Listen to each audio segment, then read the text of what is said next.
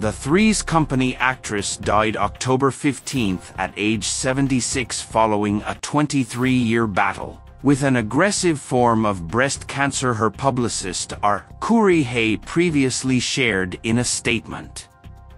Now authorities have determined that the cancer also spread to her brain listing Somers' official cause of death as breast cancer with metastasis to the brain in a death certificate obtained by the blast October 26.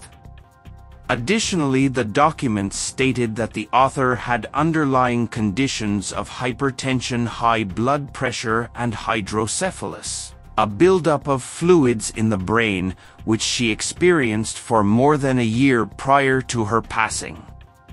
The document noted that a biopsy was performed but not an autopsy. On October 15th, Somers died at her California home with her immediate family, including her husband Alan Hamel and son, Bruce Somers Jr. close by.